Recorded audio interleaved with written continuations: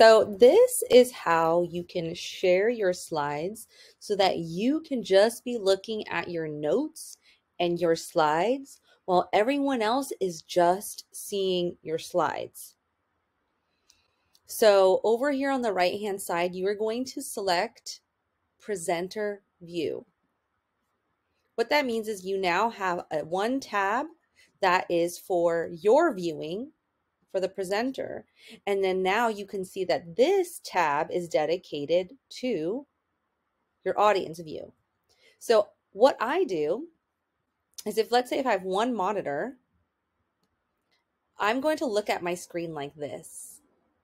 And I can look at my notes. So if I move to another screen, I can see my notes. And so I, my eye level is at my notes and I'm able to move back and forth. But what my audience is seeing is just the slide movement.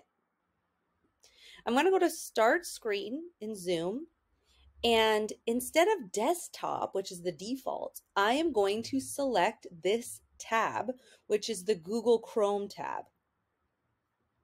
That's what I'm sharing. So everyone is seeing this, and I'm going to slide through like this. But what I can see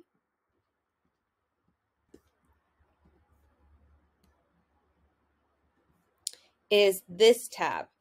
So I'm looking at this tab on my screen, but everyone else is looking at this tab. So again, like if I move through, you're going to see the background is also changing. So this is what I can see, and this is what everyone else is seeing. I just need to make sure that that is the tab that is being shared.